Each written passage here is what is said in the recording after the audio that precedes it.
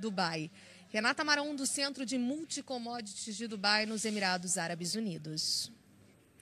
E a gente vai falar agora de um projeto que tem auxiliado muitos produtores a adotar boas práticas agrícolas com ações sustentáveis e que ajudam a promover o desenvolvimento das propriedades rurais.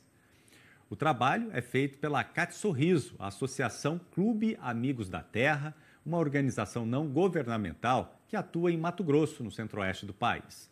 E para falar um pouco mais sobre esse projeto, eu converso agora com a vice-presidente do CAT Sorriso, a Dude Paiva. Olá, Dude, bom dia, seja muito bem-vinda aqui ao Agro Notícias. Bom dia, Vinícius, é um prazer também estar com vocês. Ô, Dude, vamos falar um pouquinho desse projeto, né? E como é que a Associação Clube Amigos da Terra nasceu, né? E como é que ela atua junto aí aos pequenos produtores rurais em Mato Grosso, hein? Então, é, o Clube Amigos da Terra existe já há 19 anos, né? É uma associação onde a gente presta serviço para os produtores é, grandes, médios e pequenos, né? Agricultura familiar também. E fazemos um trabalho de certificações e projetos que nós trabalhamos aqui em Sorriso. É interessante. Conta um pouquinho para a gente do programa, né? Eh, do programa, como ele funciona, né? E quantas propriedades rurais estão sendo atendidas nesse momento? Então, esse projeto, projeto Produzindo Valor, é um projeto que vem é, para a gente deixar as fazendas certificadas, né? um projeto que para 30 fazendas. Nós temos já 23 fazendas com módulo de 115 módulos cada uma. São fazendas pequenas, não são fazendas tão grandes, né? E nessas fazendas a gente leva é, o PGR, nós levamos 800 horas já de trabalho para eles, é, cursos, né? Então, o primeiro que a gente faz mesmo é conversar com os agricultores e ver se eles têm o interesse para certificar sua fazenda, para entrar no nosso projeto. Para quê? Para deixar sua fazenda redondinha, né? Nessa parte todinha de é, ambiental. Nós também temos um trabalho social com os funcionários, fazemos os, damos os cursos todos para eles. E até aí, quando eles aceitam todas essas propostas, nós vamos começamos a fazer o levantamento dessas fazendas, Vinícius. O Dude, vocês visitaram, né, como você disse, é, para a gente, pelo menos 23 fazendas né, já, né, e já fizeram um balanço parcial. Né? Quais os principais problemas e desafios que vocês encontraram nessas propriedades? Para falar a verdade, aqui os agricultores são bem organizados, viu, Vinícius? É, lá atrás, uns anos atrás, até a gente teria muitos problemas. Hoje a gente vive o dia a dia de saber que tudo tem que estar em ordem. Mas mesmo assim, a gente tem alguma parte ambiental que tem que ter algum restauro, né?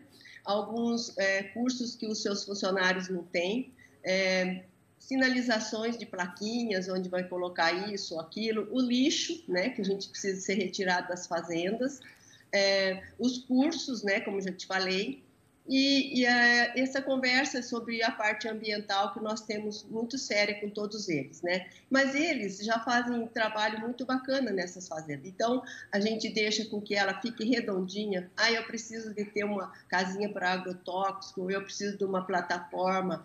Tudo isso, o, nesse projeto nosso, a gente leva para que eles façam de acordo com as nossas normas brasileiras, né? Então, a gente, se ele pretende fazer uma, uma, uma cantina, vamos dizer, uma cantina na, na sede dele, o nosso projeto leva também o projeto da sua cantina de acordo que, com quem tem que ser feito.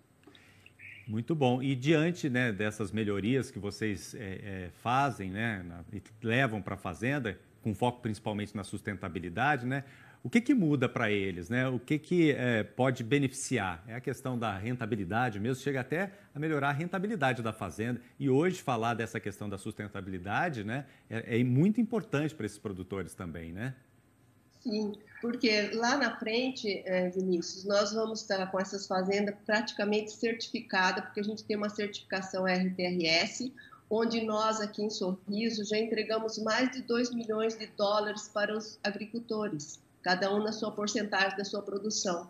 Então, isso vai visar para eles com que lá na frente eu vou estar com ela certificada. Por isso, esse projeto é muito importante, porque é o primeiro passo que ele vai dar. Agora é interessante como é que é feito né, o trabalho. Vocês fazem as visitas técnicas apenas ou tem outro trabalho que vocês auxiliam também é, à distância? Como é que é feito esse trabalho na prática? Nós temos a distância e, te, e temos também a, na prática, eles vão nas fazendas e visitam. Quando os agricultores abrem a porteira, eles vão lá e fazem toda a visita. Eles fazem um levantamento de tudo, né? É, como se diz assim, intrometido chegou e vai ver tudo que precisa ser resolvido aqui. E se a gente está afim, eu sou agricultora, né? Também ah, moro aqui em, em Sorriso há mais de 40 anos. Eu vejo assim que aqui as pessoas são até muito abertas para uma conversa e explicar o que a gente pode estar melhorando dentro da sua propriedade, né? Não é muito fácil, com essa pandemia também atrapalhou bastante, mas em um ano nós fizemos um belo trabalho, é um, um trabalho excelente. Eu estou muito feliz com esse projeto nosso aqui. Interessante. Dude, para a gente ir encerrando aqui o nosso bate-papo, né, os produtores rurais que têm o interesse né, de participar, de ouvir aí os conselhos, fazer essas mudanças na propriedade, como é que eles podem fazer? Eles têm como procurar vocês? Sim, nós, temos, nós estamos situados aqui em Sorriso, né? É, nós temos um, um, um, telefone também, né? Nós temos catsorriso.com.org.com, que você pode entrar no nosso site, né? E, e, ver todos os projetos que estão em andamento, né? Então, a gente está aqui situado também no, no mesmo no mesmo prédio do Sindicato Rural do Sorriso, né? Então podem vir até aqui, nos ligar, nos procure que nós estamos prontos para atendê-los.